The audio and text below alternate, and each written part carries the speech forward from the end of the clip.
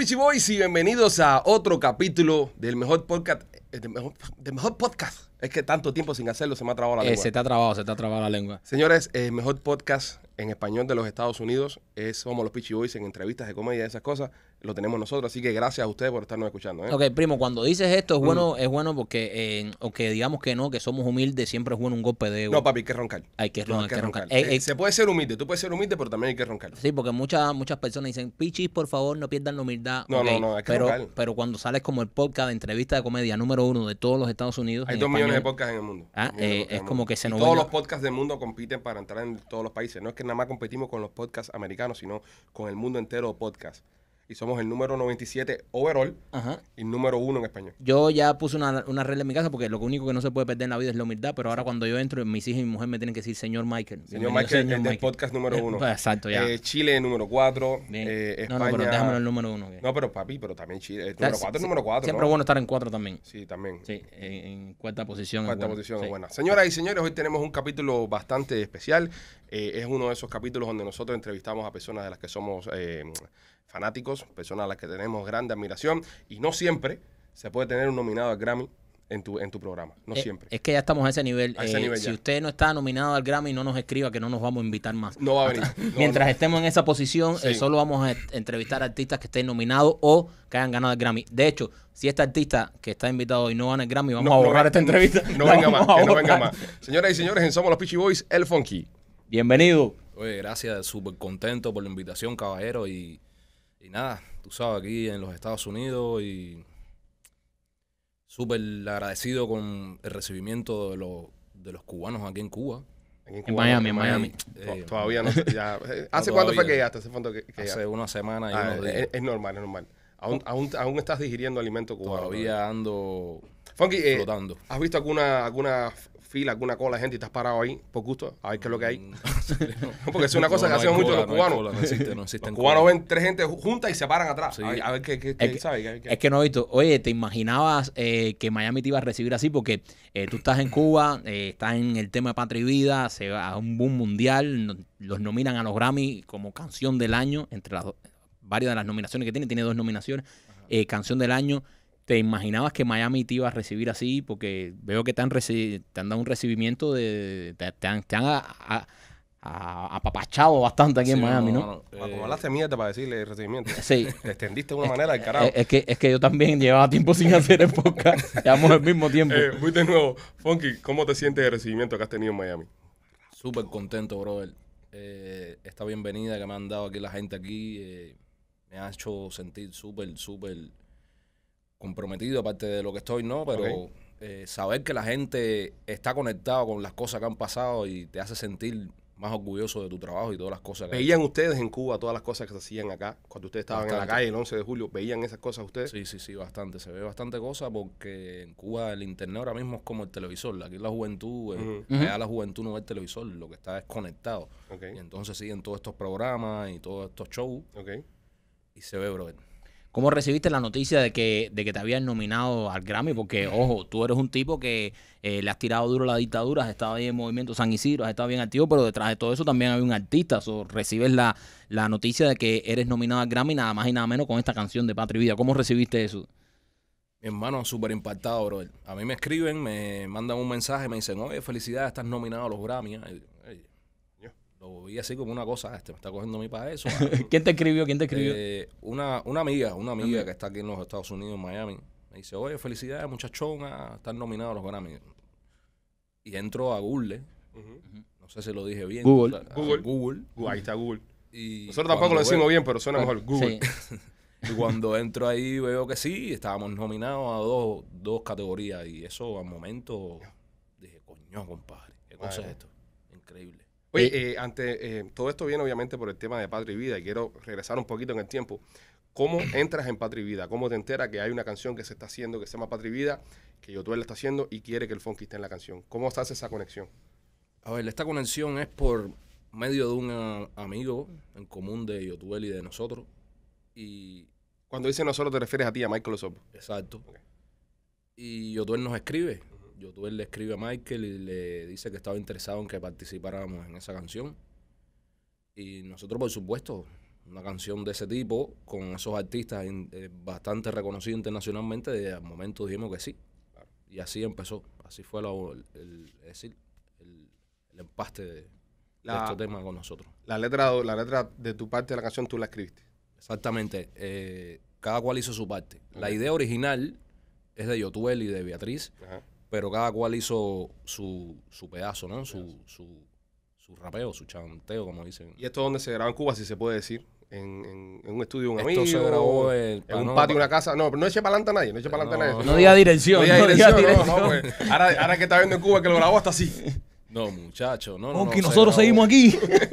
Se grabó, se grabó en un estudio de una amistad. Todo clandestino, todo Todo clandestino. clandestino, bro. Toda la música de nosotros. Y ese todo máster, y ese máster de esas voces, ¿quién las tiene? Esa gente todavía. Me imagino que sí, que debe estar ahí, pero el problema es que después que se trabajó en ese estudio, porque no solamente se grabó eh, las partes de Patria y Vida, sino trabajábamos ahí como tal, pero después de todas estas situaciones tuvieron que recoger todos los equipos porque habían ya amenazas de que iban a descomisar los equipos. Oh, sí. Entonces ese estudio ya no existe ahora mismo. Ya, no está. No. No está. Y entonces, ¿y, lo- y los másteres se perdieron? ¿O alguien los tiene por ahí? Eso van a darle en un disco Me duro. imagino que deba tenerlo guardado, exacto, en un disco duro. Sí, porque eso no quedó de una, ah, sin ofenderle el, el- el arte, ¿no? Que no Claro. que decir Que no tú sabes, bro, tú rapero. estabas ahí. No. ¿Quedó de uno o no quedó de uno? esas No, cosas no quedan de una, esas cosas se hacen porque... Ese era tú cuando ra- rapeabas en los kamikaze, pero No, pero en no. serio, eh, eh, nosotros grabamos bastante rápido. Nosotros tenemos. No, hay que grabar bastante- rápido porque le están cayendo atrás. Eso es... ¡Bum, bam, bam, bam! Vamos echando, cabrón. Quedó de una, qué buenos son. No, buenos no, que tiene la policía tocando la puerta. Bueno, esos pocos tiempos que teníamos, porque siempre estábamos bastante perseguidos o vigilados, eh, aprovechábamos y grabábamos algo siempre. Qué bueno, men. Qué Y bueno. así era como pudimos. ya, te, ya te reuniste ya con, lo, con los otros integrantes, has hablado con los otros integrantes de Patria Vida, con Sí. gente de zona, Exacto, con sí. Decémer, ¿has visto a Decémer? A- No, a December no lo he visto. Me imagino que nos veamos en, en Las Vegas ya cuando estemos. de- ¿por, qué, por qué todo el mundo tiene excluido a DCM de, de, de lo de Patria Vida? No, no, no. Nadie tiene excluido a December. Lo que pasa Está que. chismoso, viejo. No, es que lo- yo no veo a DCM nunca. Siempre veo a Alexander con, con Randy y con YouTube, pero siempre veo que como que a Es verdad. lo echan por un lado. No, porque él, eh, eh, son artistas diferentes, ¿no? Y están en su, en su carrera y en su historia, tú sabes. Ok. Pero bueno, en el momento. De Grammy sí van a estar todos. Claro, vamos a estar todos. Ah, ahí, qué bueno, qué bueno, qué bueno. Ent- Entonces, em, ya hay una presentación co- confirmada, van a cantar ustedes Patria y Vida en los Grammy, Está va a estar. Decémer y van a estar eh, ustedes, menos obviamente Michael que está en Cuba. Así es. Ok, no, va a estar, va a estar cool eso porque van a estar todos juntos. Claro, no, y me imagino que le harán un homenaje a Michael también por, por Sí, no poder estar. Porque Vamos a aprovechar ese momento para hacer algo bastante bonito y que esté presente ahí Michael, Luisma, Esteban y nosotros en, cuando nos... en honor Ajá. principalmente eh, llevar el mensaje y dedicado totalmente a todos esos presos injustamente desde que salieron el 11. Cuando salió la nominación al Grammy, en ese mismo tiempo eh, empezó una guerra de Balvin fajándose con Residente, que si el hot dog, hubo una cosa que se formó ahí de farándula, ¿no? Sí. Y nosotros zumbamos un tweet que decía que mientras todo el mundo estaba hablando de hot dog y esas cosas, había un artista nominado al Grammy que Y estaba preso, en Cuba. Así. Muy fuerte, bro, es demasiado fuerte. Y, y, y, ¿sabes? Qué bueno que, que vas a estar y, y la academia debería saber esto de que hay- este tipo está preso en Cuba por, por culpa de su música. ¿Entiendes? Porque... Por eh, su arte por y su por arte. pensar diferente. Y por pensar diferente. No, es no, una y- locura. Y por su arte, los Grammy premian el arte, premian la música y hay un artista que precisamente por su arte, por expresarse en sus canciones eh, en contra de su gobierno, está preso. Y está preso. Eh, hablaste, tú hablaste con él eh, cuando te ibas, ¿cómo, cómo fue Sí, esa cómo no. conversación? ¿Cómo fue eso?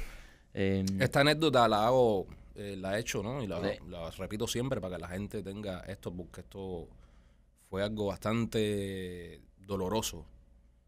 Eh, unos días antes de irme, eh, me dicen que querían a- ponerme una persona que era amistad mía, que estaba presa. No es Michael. Ah, bueno, claro. Y entonces esta gente me llevan a un lugar donde me ponen a Michael por videollamada. Cuando tú dices esta gente, ¿quiénes son? La, El- la seguridad, la del seguridad Estado, del Estado. Para esto. me ponen a Michael por videollamada. ¿Y qué pasa? Esto lo estaban haciendo o lo, o lo, o lo hicieron con el objetivo de que, no sé, que Michael dijera algo o que pasara algo raro que a lo mejor me sentenciara a mí mismo que no, no pudiera hacer el viaje. Eso fue lo que me dio a entender. Y tuve una conversación con Michael en el que la cual le digo, hermano, voy a salir. Eh, tú sabes, mi apoyo incondicional y uno de los objetivos más grandes que tengo en los Estados Unidos es Michael. Porque si yo estoy hoy por hoy aquí es por él. Y él me da, ¿me entiende? Un aliento grandísimo. Me dice, hermano, camina, usted se lo merece. Usted tiene talento, brother, y pronto nos vemos allí. Eso fue una tarea bastante dura que nunca se me va a olvidar. Hay muchas personas que están criticando el tema de que tú te fuiste. Y mucho más el tema que te fuiste desde el día antes del 15 de julio. Eh, Otaola el otro día específicamente salió hablando del tema. ¿Qué sientes tú cuando, cuando ves este tipo de reacciones a tu llegada acá a los Estados Unidos? Hermano, te digo algo. eh, para nada, brother. Porque ya yo lo dije, yo no tengo que demostrar nada. Cere. Eh, yo estuve allí, hice lo que hice, estando allí en el monstruo, como se dice. Y su crítica es su, su trabajo, su, es su labor, es su manera de pensar y hay que respetarlo. Estamos en un país de libertad. Pero nada, si yo estoy aquí en los Estados Unidos, uno es porque me cansé, bro, de la represión, me cansé de, de todo, la miseria. Me di cuenta que podía dar este paso y lo aproveché. Que desde aquí puedo apoyar más a mi familia, puedo apoyar más a mis hermanos. Y hacer mi música más que todo. Porque en Cuba yo no podía cantar, bro, estaba censurado, ¿no? Tú estás censurado, tú no pertenecías a, a ninguna a ninguna empresa ni nada de eso. Tú estabas totalmente censurado en Cuba. No podías hacer conciertos, no podías grabar No. discos. Lo que Tenías pasa, una ver, cautelar, tenías una Yo cautelar. tenía una medida cautelar, el cual yo tenía que firmar todos los principios de mes. Eh, a raíz de mi participación el 4 de abril en San Isidro y por la canción de Patria y Vida. Yo pertenecía a Agencia Cubana de Rap, es decir, que yo estaba ubicado, yo tenía mi trabajo, era un profesional. Fui expulsado. Tenía también un trabajo donde pinchaba con mi papá y también me expulsaron. Y a partir de ahí ya vino la censura total. Entonces te fueron cerrando, te fueron Todo. cerrando y, y tú, tú tienes esta oportunidad, decías quedarte, que es totalmente respetable, se puede seguir haciendo patria aunque no estés ahí, pero tienes también que echar adelante como persona y, y, y para ayudar a tu familia y para tener un futuro donde ya en tu país no podías ni trabajar, te botaban Así de todos lados. Em, y vas a retomar tu carrera artística aquí, eh, has- ah, no sé si has tenido tiempo de, de reunirte con algunos productores o qué, o qué cosa tienes pensada en camino para, para retomar tu carrera. Exactamente. eh, estoy esperando que pase esto de las premiaciones y ya tengo varios productores que están interesados y, y por supuesto que sí. Espera que te dan el Grammy para que, para que negocie mejor, ¿entiendes? Sí, sí, oye, sí, es lo que- mismo artista, oye, yo soy un de Grammy, hermano. ¿Cuánto tiene para darme ahí?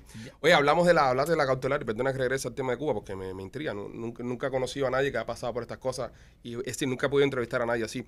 ¿En qué consiste una cautelar? ¿Qué es eso? Tú tienes que ir a qué? A ver, mira, la medida cautelar en la cual yo estaba... Porque Perdona, es para no que las son personas entiendan, porque este, este show se está escuchando en muchos países y, y hay muchos otros latinos que lo están escuchando y quiero que entiendan también, y y porque mucha gente no le pasa por la cabeza de que alguien por hacer arte, por hacer música, lo metan preso, lo censuren, incluso hasta pierda la vida.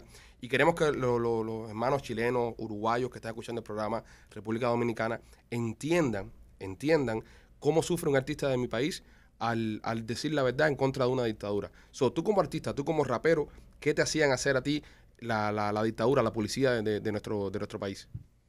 Mira, una medida cautelar, por lo menos la que tenían puesta conmigo, eh, consistía en los principios de Memphis Mal, un jefe de sector, tú sabes. Y de mis, es decir, yo vivo en La Habana Vieja y cuando tenía que salir de ahí, a veces tenía que pedir permiso, o ellos mismos, porque siempre tenía alguien vigilándome, me llamaban y me decían, ¿para dónde tú vas? No sé qué, no, para el estudio, no, tú no puedes grabar.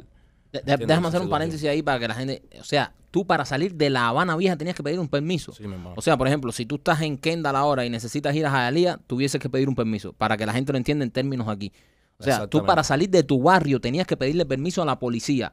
Y todavía dicen que no hay represión y que hay derechos humanos. Te votan del trabajo, no te dejan cantar, te votan de la agencia cubana de rap, así se llama, ¿no? Así. Eh, eh, te votan de ahí y, y no te dejan salir ni siquiera de tu municipio. O sea, no te dejan No, salir de tu barrio. Esto, O simplemente eh, me dejaban salir, pero sa- sabía que tenía alguien atrás. Siempre veía gente que estaban atrás de mí. Sabía supuesto. que no te iban a asaltar también, eh, por parte ahí tenía, estaba, estaba- podía, podía dormir en tu casa con la puerta abierta que nadie se iba a colar adentro. Estaba protegido. Estaba- estaba vigilado el día entero, bro. Y entonces tenías que, que reportar todos tus movimientos. Así es. Y entonces viene esta carta de invitación. Y cuando hago la entrevista en la embajada, ellos me citan y me dicen que, que, que iba a hacer en la embajada. Y le explico, le digo, ven acá, estoy en este proceso para participar en los premios. Eh, ustedes me dicen si puedo salir, si estoy regulado. Ellos me dicen, no, no, no, no. Si tú haces todo y todo está bien y te puedes ir, usted se va. ¿Entiendes? Lo que pasa es que cuando ya yo voy a salir, ellos me acompañan hasta las mismas escaleras del avión y me dan una despedida, como para siempre. No, bueno, dale, ya, quédate un tiempo. ¿Cómo es el proceso que ellos te acompañan? Es decir, eh, ellos te recogen en tu casa y te No, llevan no, no, para nada. Tú vas en tu taxi normal y ellos te están ahí esperando. Ya Desde que tú llegas al aeropuerto, ellos estaban ahí. Te jalan por un ladito. te llaman aparte y te dicen, dale, coge por aquí, ya, no sé qué, tú tranquilo, no te va a pasar nada, ya, tú te vas, ya, y tú sigues ahí, ya, hasta la escalera. Te escoltaron hasta la escalera, te llevaron de la mano hasta la escalera y te dijeron, dale, bye bye. Ah, Y cuando sí. te dan esta despedida que tú dices eh, en la escalera del avión, ¿qué te dicen? Como que no vengas más, no vas a virar. eh, o te dejan saber que no vas a poder entrar más. ¿Cómo es eso? Eh, de la manera que me habló, me, me dio a entender eso. Me dijo, eh, pásate buen tiempo por allá, no vengas por ahora. Como diciendo, dale para allá. Claro, Sí, dale. porque a, Chao, a- a- a ellos le conviene también eh, que, que tipos como tú, que tipos que han estado en Movimiento San Isidro, tipos que, que son importantes, gen- gente que sigue, gente que, que tiene seguidores de, de personas que no están de acuerdo con el gobierno también. eh, para ellos es bueno soltar esa válvula de escape, porque tipos como tú ahí eh, es peligroso. Y, y también por ahí es por donde viene la crítica de muchas personas que, que dicen, coño, eh, lo- los duros, los tipos de verdad, se están yendo, no están en Cuba, están eh, ayudando a la válvula de presión, pero coño, que están en el país de ustedes. Sí, yo ¿Entiendes? te digo algo. Si yo hubiera estado el día 15 ahí, por supuesto, yo no hubiera podido participar en los Grammys. Ujú. E incluso es- lo más probable es que vaya preso, ¿me entiendes? Porque yo estaba allá bajo una eh, medida cautelar. De ahí a la prisión no era nada, era un paso falso o, como dicen ellos, o que hiciera algo. Y salir al 15 era Ya. estar preso, brother. Ok, eh, a ustedes eh, cuando ve, cuando viene una, una marcha como esta que se está planificando para el 15, los empiezan a recoger los días antes, ¿no? Por supuesto, La- o sea, lo- todas estas personas, todas estas que están en contra eh, del gobierno, todos los disidentes que viven dentro de Cuba, me imagino que ellos los recojan eh, antes del 15 y después eh, los van soltando poco a poco. ¿Cómo es ese proceso? Asimismo, cuando hay organizada una manifestación o una salida, ellos ya dos o tres días antes ya te están diciendo que no puedes salir de tu casa o no te dicen nada, simplemente te sitian, te ponen unas patrullas fuera de tu casa con dos o tres agentes que no puedes salir de tu casa. Al momento de pones un pie afuera, te montan y te fuiste completo. Y te llevan y ahí te meten unos días ahí. Unos días ahí hasta, hasta que, que se, hasta que se afloja Si, la eh, cosa. si eres día 12, te vas a estar ahí hasta el 15 Exacto. y te sueltan a los tres días y ya. Por eso, por esa parte es que yo digo que hay veces que no se programan las cosas, ¿entiendes? Para evitar estas mismas cosas. ya. Eh, nos Sí, fuimos. Sí, sí. Funky, eh, déjame, déjame preguntarte algo. ¿Qué tú crees, en tu humilde opinión, que pase el día 15? ¿Tú crees que el día 15 haya un estallido como el que hubo el 11 de julio? Hermano, yo te digo algo. Desde el 11, que fue para mí un antes, un después y un para siempre, podemos esperar cualquier cosa. El pueblo ya está en descontento. Y el pueblo no quiere ese gobierno. El pueblo está decidido a salir. No van a salir a lo mejor muchos por miedo, porque saben lo que pasó el día 11 y van a se van eh, se están reflejando en ese espejo y no quieren ser, ¿me entiendes?, encarcelados ni heridos incluso hasta muertos, ¿entiendes? Pero sé que van a salir el día 15 personas que están muy comprometidos con la causa y que están cansados de eso, brother. ¿Me entiendes? Así que mi mensaje desde aquí es que yo no estoy ordenando a nadie que salga, pero todo el que lo sienta, que se sienta cubano, que, que, que quiera recuperar su dignidad como ser humano, brother, que salga, brother. Cuando saliste, cuando saliste el 11 de julio, porque es la primera vez que podemos entrevistar a alguien que estuvo, que estuvo en Cuba cuando pasaron estas cosas. Eh, ¿qué, qué tú sentías? ¿Qué pasaba por tu cabeza cuando tú veías el pueblo entero masivamente afuera? ¿En algún momento sentiste de que ya se acabó esta mierda ya? Sí, claro, claro que sentí eso. De hecho, me hizo sentir muy orgulloso porque ya nosotros habíamos hecho estas cosas, ya nosotros habíamos, habíamos salido Sí. En pequeños grupos y siempre fue nuestro, nuestra intención que el, pueblo se sumara. Cuando vimos esto, eh, yo estaba en mi casa, un amigo mío me dice, estoy aquí en el Capitolio, está, aquí está hasta mil, no sé qué. Yo digo, coño, voy para allá, ¿entiendes? Porque un momento histórico. Pero ya cuando bajo mi casa ya estaba allá, pedacito de pollo, como aceite, todos los represores estos ahí, ya, y al momento me dijeron, no puedes salir de tu casa. Esos son los nombres de los represores. ¿vale? Sí, nosotros le poníamos los represores. Hay uno que se llama pedacito de pollo. pedacito de pollo. Claro, porque te reprime por un pedacito de pollo. Exacto, ¿no? Y es un pedacito de policía que tú ves que no tiene alimentación ni nada, y, y entonces, eh, tú no llegaste muy lejos el, el día 11, al momento. No, no, al momento estuve sitiado desde el 11 hasta el 13. Pero vi todo por internet en el Claro. teléfono y, y un sentimiento de, de, de madre, de alegría Ajá. con ganas de estar ahí. Con ganas. ¿Entiendes? Claro. Pero Y- no había break, no te dejaban. No. Y Lu- Luis Manuel eh, también salió ese día y no llegó muy No, lejos no tampoco. llegó lejos, pero pudo salir Pero pudo salir. Aún y- está detenido desde ese día, ¿verdad? desde ese So, día. desde ¿no? ese día Luis Manuel eh, no Está detenido, está, está preso.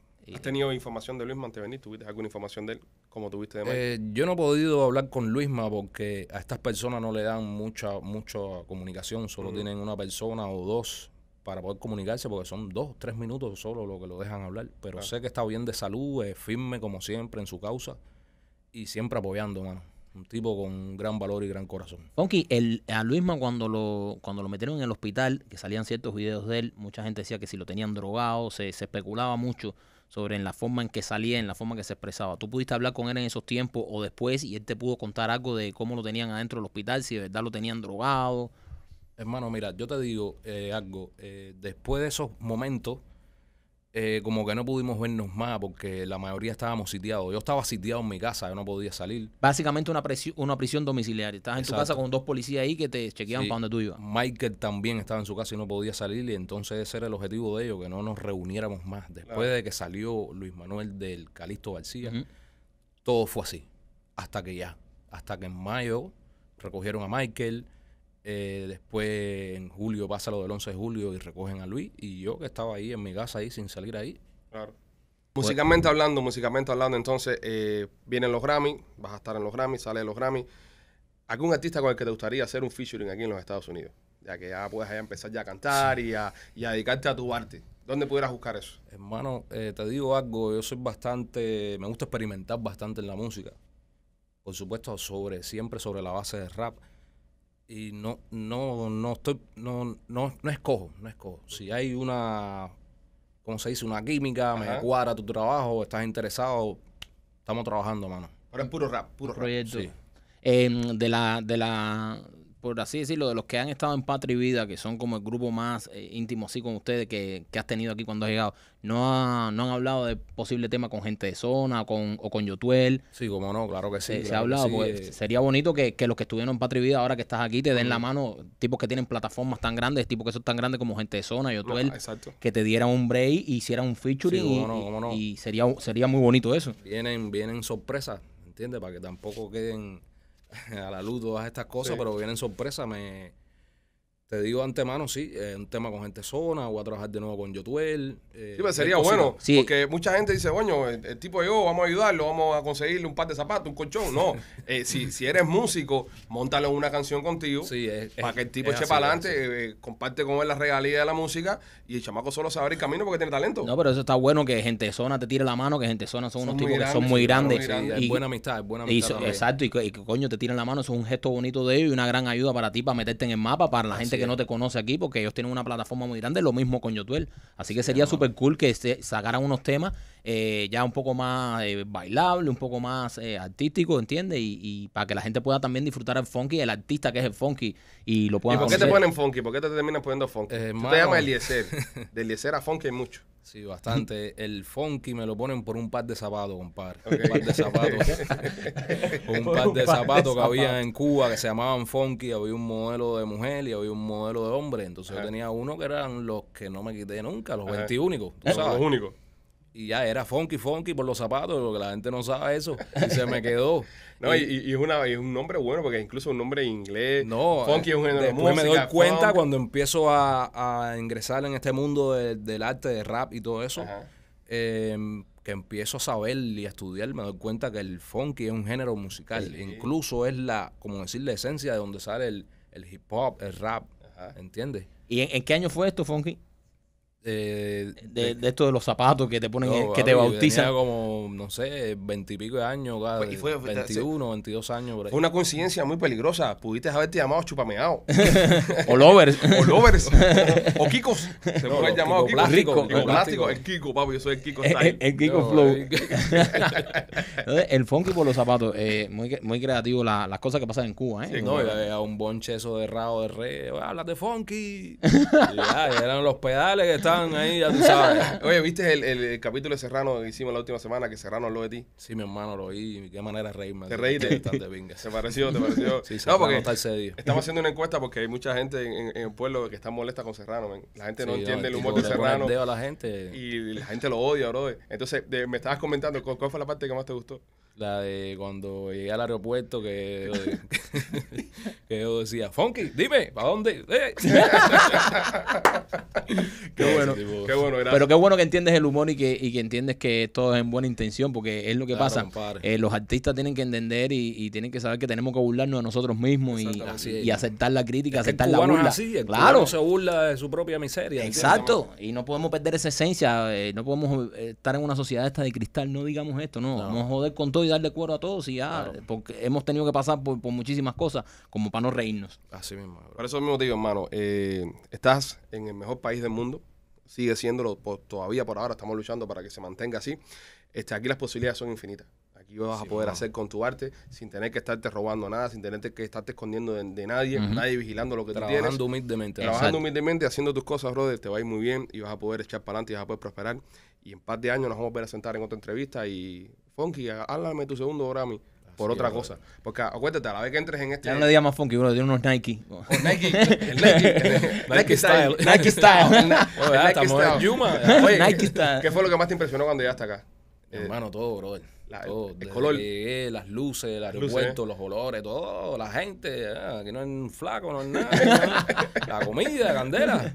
A mí me impresionó mucho cuando llegué las luces también. Sí. A mí me, me impresionó demasiado. Yo era de Mantilla. No, es que cuando tú sales de Cuba, Ajá. tú ves la- las luces que parecen velas. Ajá. ¿Entiendes? Así, fosforitos, eso, Sí. prendido. Pero cuando tú llegas aquí, ya tú ves Ah, eso. explotaban luces ahí. No, mano, ¿Y tú llegaste de noche? Yo llegué de Ah, y cuando entra ese avión de noche de así que se ven sí, todas esas No, luces. pla- pla- parecía otro planeta, mano. Estabas los tú que- edificios, los, los carros. Tuviste que tomarte como tres pastillas para poder dormir esa noche. Sí, eh, al otro día me, me dio como, no sé, un ataque sentimental, yo no sé. El gorrión, nosotros decimos que el gorrión. el gorrión. Eso te va a coger de vez Y en cuando. entonces me cogió con una cerveza y Ah. ya, me mató, brother. Me senté en un quicio y sentí también eh, que todavía lo siento, ¿no? Ajá. Como que estoy haciendo, eh, que estoy haciendo, ¿no? Que me, me están persiguiendo, bro. Miro bro. para atrás y Claro. ando enfantasmeado todavía. Es, es- ¿entiendes? es- es difícil eh, y nosotros tenemos en, Hay que vivirlo, bro. Es que hay que vivirlo. Uno lo dice. Mira, nosotros lo decimos y, y se comenta aquí en, en- en el exilio mucho. Porque eh, tenemos casi ya 60 años de historias de personas que vivieron eso. Ah, sí, entonces ya pasa como algo normal. Ah, sí, no, a Fonque lo tiene sediado. No, sí, a este tipo se le metió la seguridad en la casa, pero vamos a traerlo a nuestra realidad, por ejemplo, donde vivimos nosotros acá en los Estados Unidos, de tener un policía atrás de el día entero. Al gobierno, acá cuando tú tienes un problema, tú llamas al 911 y viene la policía y te ayuda. ¿A quién tú vas a Exacto. No tienes a nadie que llamar. Entonces, tener al gobierno pisoteándote, que te voten de tu trabajo, que te voten de tu. De, te separan de tu familia, te metan preso en tu propia casa. Es de carajo, Ceres. Es duro, es difícil. Es difícil, es muy difícil. ¿verdad? Hermano, este, estamos muy contentos que, ¿sabes? De tenerte acá en el show, de que hayas pasado por acá. Te deseamos mucha suerte por lo de, Gracias, lo de los Grammy. Ojalá que te gane, ojalá que se ganen los dos. No, se ganan los dos duros. Si ganan los dos. Sí, brother, eso va a ser un momento súper histórico porque se va a aprovechar para mandar un mensaje contundente contra el desgobierno ese, brother. Sí, sí, sí. Y yo pienso que todos los cubanos vamos a ver los Grammy ese como si estuviéramos viendo la final del Mundial de Fútbol. Todo el mundo con las banderas así, yo me imagino, porque así fue como pasó también en la, en la pelea de, de Ugas, eh, Ugas, que, sí. que se puso con Patria y Vida, que los cubanos estaban moviendo esa pelea mucho más allá del bolsillo, era también el mensaje que se estaba llevando. El Y- mensaje, Exacto. Y yo creo que va a pasar lo mismo en los Grammy, que todos vamos a ver los Grammy, y si esa gente gana, si ganan el Grammy Patria y Vida, que va a ser una locura. No, yo, yo, yo me imagino todos los videos de todos los cubanos poniendo hashtag. Y hay que hablar de, y hay que hablar mucho de Michael. En ese Vamos a Y hay preparar que algo decírselo a esa gente que si lo oiga, Gaero, eh, sí, ganamos, pero hay un tipo allá que está preso ahora No, mismo. no, no, eso va, No, y para que- y- está preso. Y cuando llega a los Grammy, bro, espérate, cuando llega a los Grammy, que tú llegas a tu camerino y tú ves que te ponen en el camerino comida y te ponen eh, todo tipo de refresco, eh, lo que te dé la gana, bro. Y entonces tú dices, coño, el pana mío puede estar aquí conmigo, aquí al lado mío, Sí, hermano, viviendo eso esto. Eso lo está, siento eso está todos carajo. los días, todos los días lo siento porque eh, yo me imaginaba estar aquí en un futuro, pero con Michael, bro. Exacto. No, y no, y no es eso, bro. Tú sabes lo que sería bueno para ustedes. Venir aquí, recoger su Grammy, regresar para su país, Libre. su país libre, seguir Qué bueno haciendo su música, seguir haciendo giras nacionales, seguir llenando estadios, haciendo conciertos. Y güey, el año que viene los Grammy de nuevo, representando a Cuba, fulano y fulano. y vienes de nuevo, ¿entiendes? Y, pero, pero lamentablemente, bro, estamos en una dictadura que, que tienes que irte como te fuiste tú. Oye, complicado. cuídate, pero no vires más para atrás porque te estamos Está esperando aquí. Está muy, ¿entiendes? muy complicado. Pero bueno, nada, bro, de toda la suerte del mundo. eh, ojalá que Patria y Vida gane el Grammy a Mejor Canción del Año, porque ya lo hemos hablado, lo hablamos con YouTube cuando estuvo aquí. Lo que creó Patria y Vida, lo que creó Patria y Vida como canción, el movimiento que creó para un país, para eh, su gente, yo creo que se merece la, eh, la canción del año. Porque le puedes dar canción del año a una canción que tal vez ha sonado más en la radio, que ha puesto a la gente a bailar. Pero esta canción estamos hablando que sacó un país Sí, a la calle. despertó y un pueblo, Despertó mano. un pueblo. So, yo pienso que no porque yo sea cubano, esa canción se merece la canción del año. Ponky, te damos las gracias, hermano. Eh, No, gracias, gracias esta es tu casa. Cuando quieras regresar de nuevo, nos avisa con tiempo. Pues, pues si hay otra gente aquí. Pero nada, hermano. Te queremos. Patria y vida, ¿ok? Patria y vida. Patria y vida, caballero. Cuídense, señores. Somos los Peachy Boys. Este, seguimos, seguimos dándole duro al podcast. No se pueden perder el próximo capítulo. Recuerden, si usted está viendo esto en YouTube, visitar todas las plataformas de podcast, que esto está disponible y se escucha mejor en audio, porque no nos tiene que ver la cara. Así que nada, los queremos. Somos los Peachy.